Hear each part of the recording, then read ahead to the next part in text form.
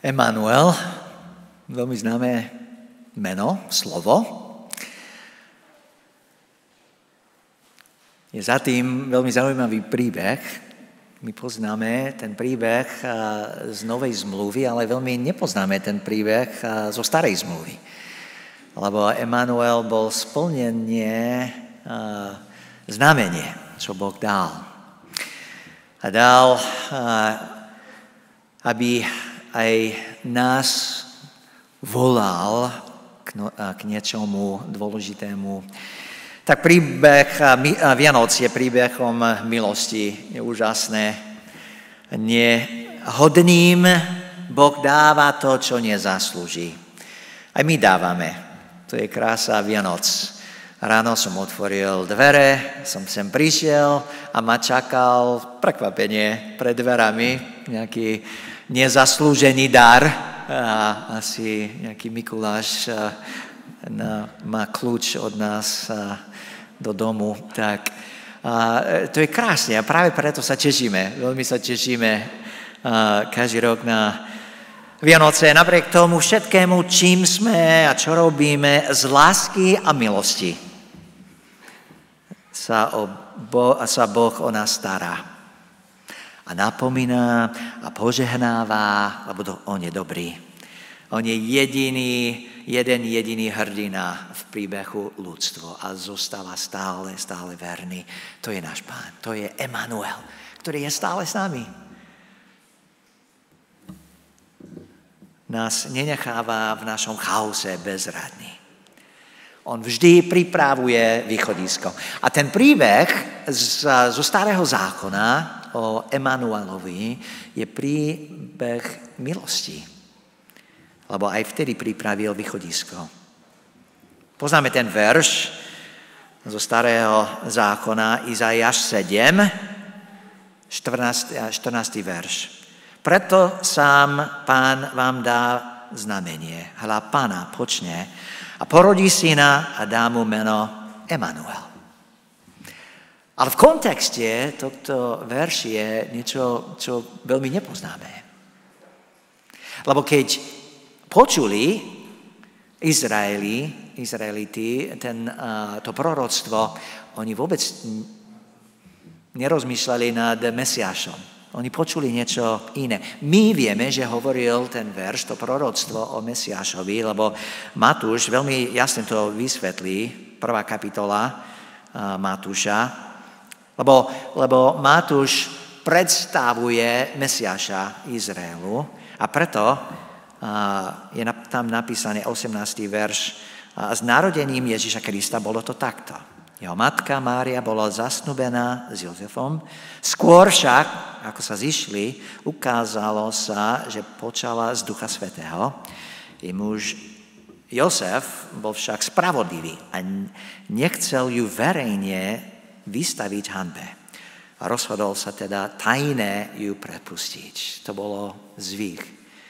To bolo správne vtedy. A keď o tom uvážoval, zjavil sa mu vo sne pánov aniel a povedal, Jozef, Jozef, počkaj, počkaj. Neboj sa prijať Máriu, svoju ženu. Veď to, čo sa v nej počalo, je z Ducha Svetého. Porodí syn a dáš mu meno Ježíš, lebo on zachráni svoj ľud od jeho hriechov. A potom zrazu počujeme to proroctvo.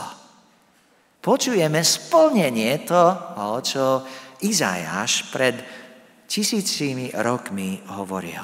A toto všetko sa stalo, aby sa splnilo, čo pán povedal prostredníctvom proroka. Hla, pána počne a porodí syna a dajú meno dajú mu meno Emanuel, e, Emanuel, čo v preklade znamená Boh s nami.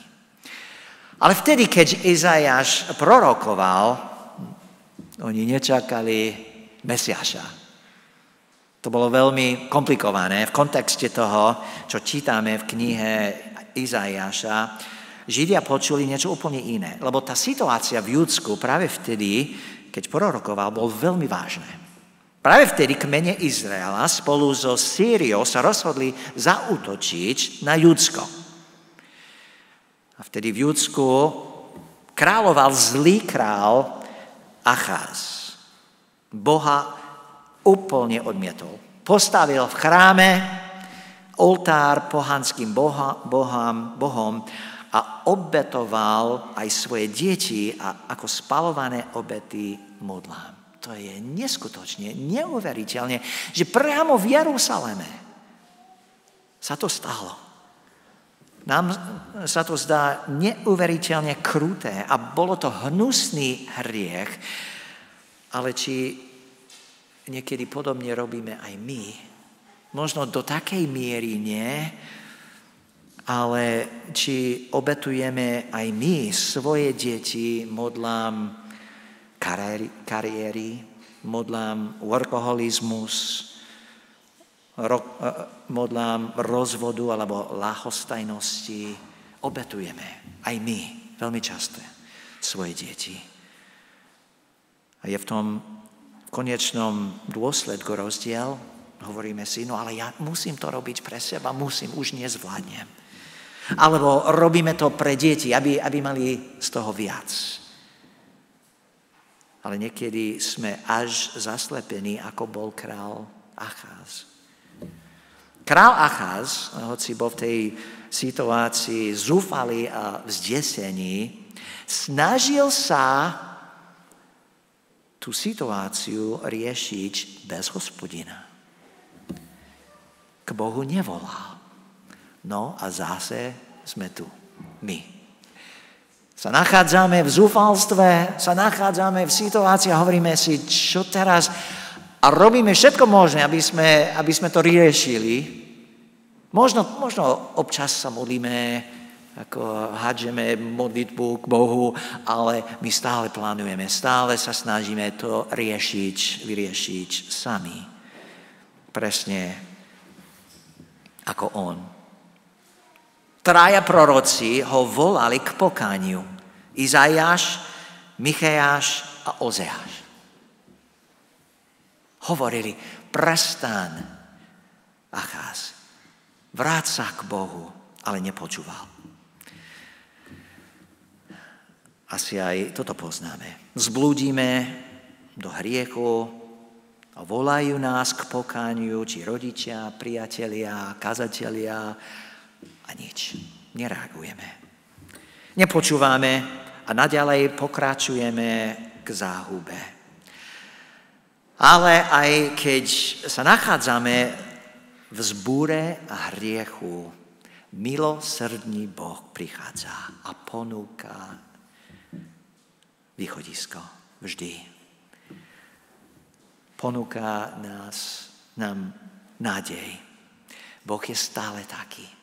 Stále dobrý, stále milosrdný.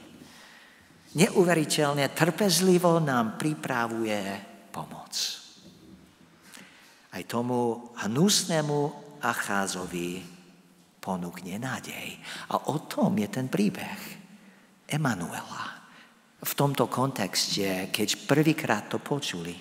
Čítame ten príbeh, ten príbeh v Izaiáša 7. kapitola, Tretí verš e, čítame, choďte, hospodín povedal Izajášovi, choďte ty aj tvoj syn Šer Jašúb v ústretí Acházovi až na koniec vodovodu Horného rybníka na cestu k polu práca, práča.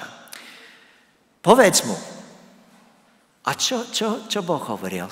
Povedz mu, ty si taký hnusný, ty si taký zlý, prečo to robíš? Zaslúžiš súd, zaslúžiš všetko zlé. Zaujímavé, zaujímavé, že to nehovoril hospodin, to nehovoril Izajáš. Povedz mu, hovoril hospodin, daj si pozor a upokoj sa, neboj sa, nech ti srdce neochabne. Pamätáte si, že Izrael a Séria sa rozhodli zaútočiť voči Júdsku. A preto on bol zdesený, preto on sa bál. A hospodin hovoril, ja som tu, neboj sa. Som nezabudol na teba. Toto hovorí pán hospodín, Neusko, neuskutoční sa to, nestane sa tak. Aj keď hlavou Arámu je Damask a hlavou Damasku Recín, o 65 rokov bude Efraim zničený. Efraim to je Izrael, to sú tie kmene Izraela. O 65 rokov budú, bude zničený. Nebude národom. Acházovi hovorí, zachránim ťa. Neboj sa. Ja viem, aký si ty, ja viem, aký si hriešný, ale ešte stále ti ponúknem východisko. Neuveriteľne. Prečo je Boh taký? Prečo nám dáva toľko šanci, čo si nezaslúžime? Aj Izaiáš aj na to odpovedá. Izaiáš 43 a 22. verš. Nevyz, nevyzval si ma, Jakub. Bol si zo mňa unavený Izrael. Nepriniesol si, si mi baránka na spalované obety a svojimi obetami z hostinou si ma neúctieval. Neobťažoval som ťa pokrmov, pokrmovou obeťou a nestiažoval som ťa spalovaním kadidla. Nekúpil si mi vonnú trstinu za peniaze, tukom svojich obiet s hostinou si ma nenasytil, ale obťažoval si ma svojimi hriechmi a unávoval si ma svojimi nepravostiami. Ale 25. verš. To je obraz nášho pána. Ale ja, ja som ten, čo zotiera tvoje previnenie kvôli sebe. A nespomíniem si na tvoje hriechy. Robí to Boh kvôli sebe. Kvôli svoje slávy, svoje dobrote, kvôli poznaniu samého seba. Boh chce stále ukázať, že je dobrý a verný a milostivý. Žalm 103, 8. verš. Hospodín je milostivý a milosrdný, zhoviavavý a bohatý na milosť. Wow. To je posolstvo Vianoc. To je krásne. Izaiáš pokračuje v tej 7. kapitole, 10. verš. Hospodín dodal pre Acháza tieto slova, 11. verš. Žiadaj si znamenie od hospodina, svojho Boha či hlboko v podsvetí, či hore na výsostiach. Boh prišiel a hovoril, ja mám pre teba východisko, neboj sa, ale môžeš aj požiadať znamenie.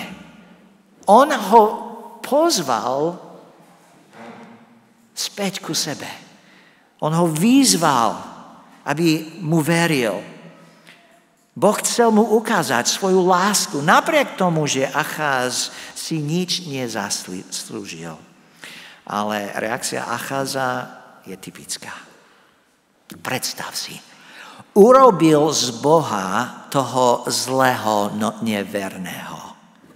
Lebo sa mu nechce dôverovať, alebo sa podriadiť. A robíme to isté. Počúvajte, čo hovoril Acház. Acház však povedal, nebudem žiadať. Nebudem po, pokúšať hospodina. To je sila.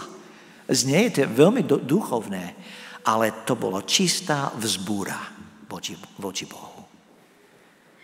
On nechcel sa podriadiť, on chcel ísť svojou cestou, ale zdôvodnil to také duchovnými slovami. Aj my robíme to isté hovoríme, na čo mám dôverovať? Ve, veď Boh mi už nepomôže, lebo ja som už za hranicou. Ja som už príliš hriešný. Zo mňa je Boh určite unavený. A komunikujeme neveru voči Bohu. Poču, poču, počujeme, čo hovoríme, obvinujeme Boha že nie je dostatočné milosrdný a láskavý. Keď prídem a hovorím, no určite Boh už nemá pre mňa milosť, už, už som za.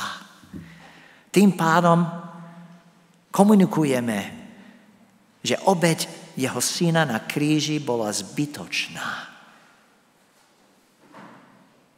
Vzdávame sa a na Boha hádžeme vinu. A problém nie je v Bohu. Je to vždy v tom, že sa nechcem vzdať svoje kontroly, podriadiť sa jemu a dôverovať. Vždy. To je ten problém. Opríť, opríť Emanuel. Zmiluj sa nad nami, sme takí stratení, tak zblúdime. Izajáš už toho má dosť. Odmietať Boha je neuveriteľné, ale obviňovať Boha je rúhania. A potom pokračuje tými známymi slovami proroctva pre Achaza a Judsko. 13. verš. Počúvaj, dom Davidov, či vám nestačí obťažovať ľudí, že obťažovať, obťažujete ešte aj môjho Boha? Preto, preto, že to robíte, preto sám pán vám dá znamenie. Hala, pána počne a porodí syna a dá mu menu Emanuel.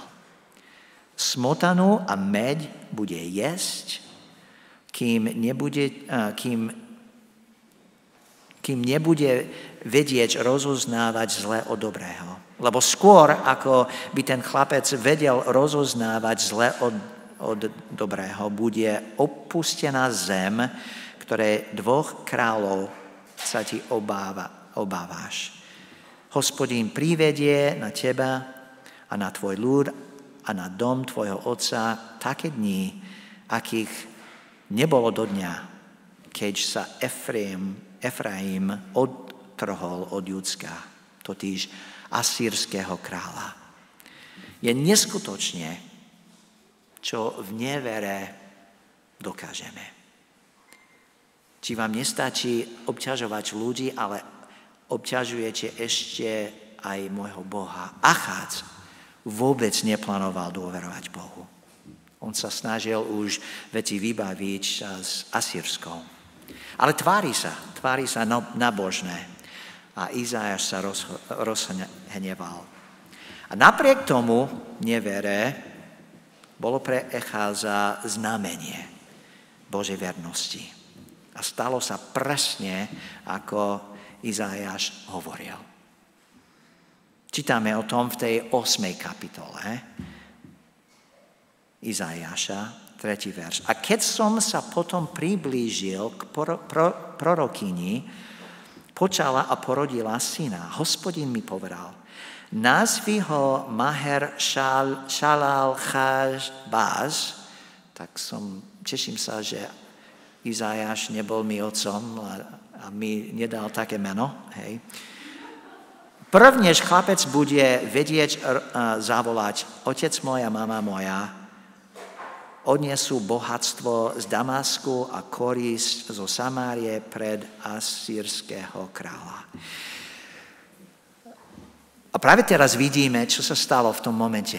Boh prišiel a dal znamenie. A samozrejme, my vieme, že to znamenie bolo Mesiáš, ale práve v tom momente takisto dal znamenie. niektorí teologo, teologovia veria, že proroctvo je o Hezikovi, synovi Achádza.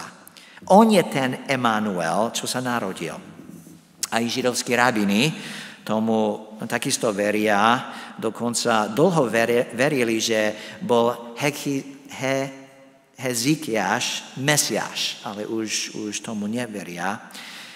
Ale ja, sa naklo, ja som naklonený k inému výkladu. Ja verím, že to bolo niečo iné. V proroctve a znamení ide o syna Izajaša. V 8. kapitole vidíme, že Izajáš si zoberie manželku, tretí verš, keď som sa potom priblížil k prorokyni, počala a porodila syna. A hospodín mi povedal, nazví, nazví ho Mahar. To slovo panna, čo vidíme v tej 7. kapitole, 14. verš, v hebrečine je alma. A znamená mladá žena, pána ešte nevydatá. A to slovo bolo bežné a sa nachádza v starej zmluve asi sedemkrát. Izaiáš pod vedením Boha si berie pánu, ona počne a narodí sa im syn. A matka mu dala meno Emanuel, lebo Boh to prikázal. Znamená Boh s nami. Ale otec mu dal iné meno, Mahar Shalal Chashbaz, čo znamená, a to je dôležité, čo znamená rýchlo ukoristi. To je zaujímavé. Dve mena, jedno meno znamená Boh s nami, druhé meno rýchlo ukoristí. Ten syn bol znamením práve týchto dvoch vecí. Bol pre všetkých vyhlasovaním Božej prítomnosti. Boh je už tu s nami. Nebojte sa. Ale bol aj varovaním, že príde súd.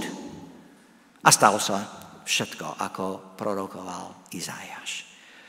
Ten súd nad Sýriou a Izraelom sa o pár rokov začal. Boli zajatí Asírčanmi a sa vznikla krajina. Ale Judsko bol ušetrené, lebo sa splnilo slovo Božie a narodil sa Emanuel, Boh s nami. A do konca života tohto Emanuela sa splnilo proroctvo, že Judsko nebolo súdené. Ale o 90 rokov neskôr, keď asi ten chlapec už zomrel, na Judsko prišiel Boží súd. A boli zajatí do Babylonii. Boh vždy svoje slovo splní bol znamenie. Boh je prítomný, ale príde súd. Jeden z hlavných cieľov Evangelium Matúša je predstaviť Izraelu Mesiaša. Prvý 17 veršov v tej prvej kapitole nám ukážuje rodokmen Mesiaša, toho najvyššieho Dávida a potom popisuje narodenie Ježiša. S potvrdením aniela Matúš jasne vysvetlí, že to, čo sa dialo s Ježišom, bolo splnenie proroctva Izajáš a príchod Emanuela. Emanuel v, d- v dňoch Acháza bol prorocké znamenie, ale Matúš píše, že príchod Ježiša Krista bol splnenie znamenia. Lebo Boh je už skutočne prítomný. Boh je teraz s nami.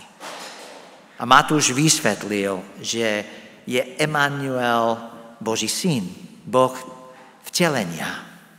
A poštol Jan ho volá práve svetlo, čo osvecuje každého človeka a prichádzalo do sveta a ďalej, napíš, ďalej píše, do svojho vlastného príšiel, ale jeho vlastní ho neprijali. Situácia v Júdsku pri príchode Ježiša nebolo inak ako pri narodení prvého Emanuela. Celý Izrael bol stále utlačený nepriateľmi. Tí neverili v predstavenie Boha, napriek ich náboženskými rečami neverili. Jeho vlastní ho neprijali. Je to neuveriteľné. Boh žije s nimi. Boh prítomný bol s nimi a oni ho nevideli. Nevnímali. Neuznali ho. Ale pozor, znovu, taký sme my často. My vieme, že Boh je prítomný. Veríme, teologicky to vieme, ale veľmi často, presne ako Židia, žijeme ako keby nebol. Aký keby nebol prítomný. Aký keby, ako keby nehovorí ku nám. A ideme ďalej svojimi cestami. Vieme, že máme Emanuela, spievame o tom, hovoríme náboženské veci, ale potom žijeme, rozhodujeme, plánujeme, ako keby naozaj ani neexistuje. Ako keby sme my boli pánmi našich dní. Celé stvorenstvo svedčí o Bohu, komunikuje, volá, ale presne ako v dňoch Matúša či Achádza, sme aj my zaslepení. Zaslepení svojimi túžbami, svojimi zámermi. A tento náš svet nie je ochotný ešte viac sa Bohu podriadiť a veriť jemu celým životom. Ján v 3. kapitole Evangelium Jána píše, kto prijal jeho svedectvo, potvrdil, že Boh je pravdivý Veď ten, koho Boh poslal, hovorí Božie slova, pretože Boh dáva duch bez miery. Otec miluje syna a všetko mu dal do rúk. Kto verí v syna, má väčší život. Kto však odmieta syna, neuzrie život, ale spočíva na ňom Boží hnev. Fú. To sú vážne slova. Bol druhý Emanuel tiež znamenie, že Boh je s nami, ale že príde aj súd. Presne ako ten prvý Emanuel. O Božom hneve sa nám nechce hovoriť, ale je tam napísané, že spočíva na tom človeku Boží hnev, lebo zostáva, on zostáva svetu odovzdaní. Práve preto spočíva Boží hnev. Slúži svetu a modlám tohto sveta. Boh vždy má, nám dá východisko, ale ak zostávame tam, ak veríme tomu klámstvu, ak slúžime modlám tohto sveta, tak zostávame pod hnevom Boží. Boží hnev je zameraný na klamstvo tohto sveta. A keď tam zostávame v tom klamstve, zostávame tým pádom pod Božím hnevom ale to nechce. A stále nás volá, činiť z toho pokanie, otoč sa, prestaň. Ale ako s Acházom je východisko vždy. A práve o tom je príbeh Vianoc. Opriť, opriť Emanuel, ten, ktorý nám ponúkne Božiu prítomnosť, ale pripomína, že príde aj súd. My vieme, že nemôžeme sami k seba spásiť. Ne, nemôžeme dobrými, svojimi dobrými skutkami alebo dobrými náboženskými úmyslami tú situ, situáciu zmeniť. Nemohol to Acház, ani my nedokážeme. Potrebujeme spasiteľa. Potrebujeme prítomného spasiteľa. Potrebujeme Emanuela. A Boh ho dal. Sám seba dal Emanuel. Boh s nami. Rímanom 8, 3. Čo bolo nemožné zákonu, čo znamená, že čo, nebolo, nemo, čo bolo nemožné nás, pre slabosť spôsobenú telom, to vykonal Boh keď poslal svojho syna v podobe hriešného tela a pre hriech odsúdil hriech v tele, aby sa splnila požiadavka zákona v nás, ktorí žijeme nie podľa tela, ale podľa ducha. Boh nehodnemu Acházovi dal znamenie. Volal ho k pokániu.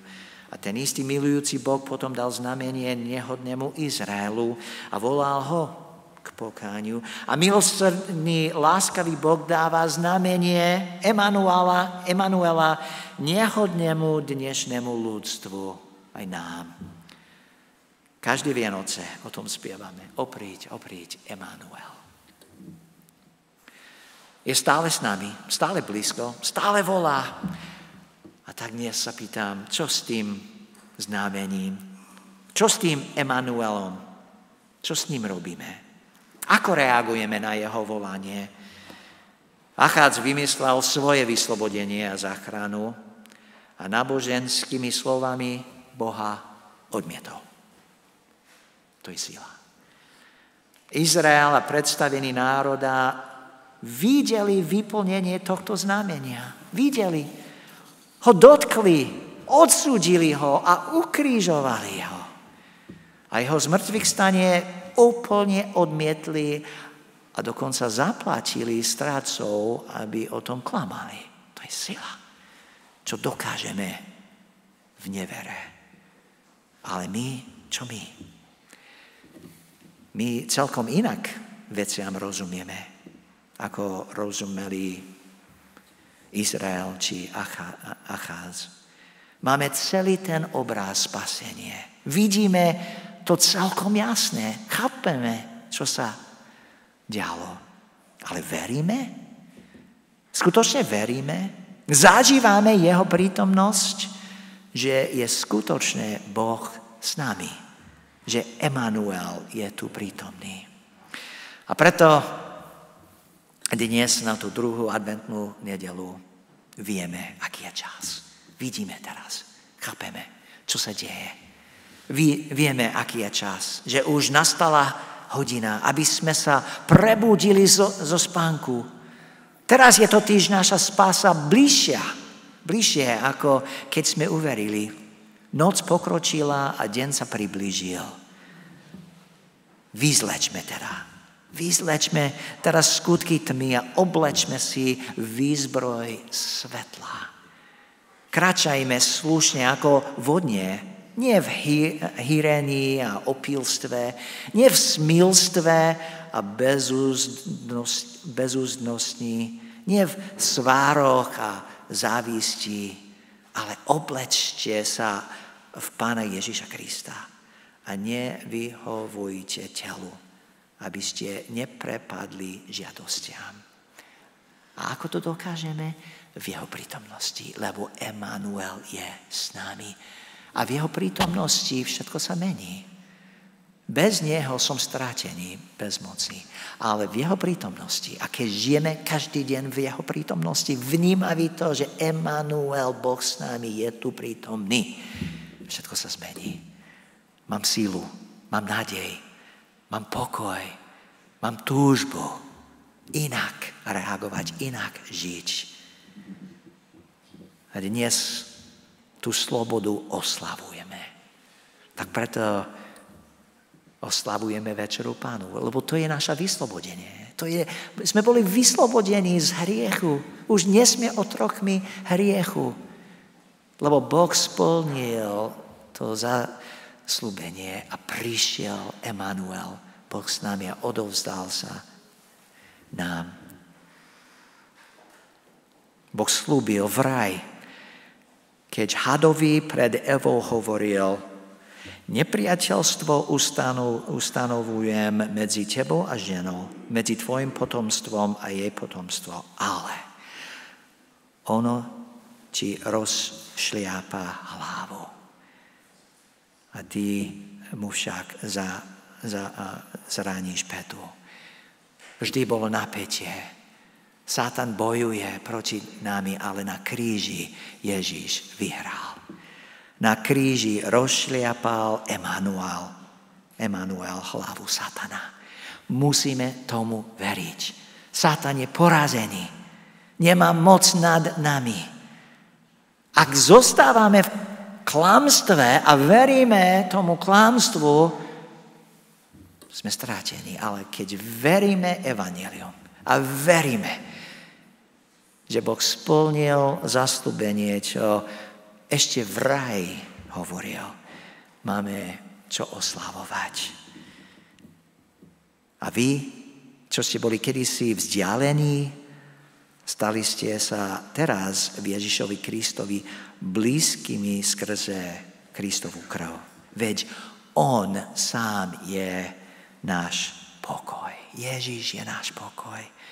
Emanuel, Boh s nami. Keď oboch spojil v jedno a svojim telom zbúral rozdeľujúci múr nepriateľstva.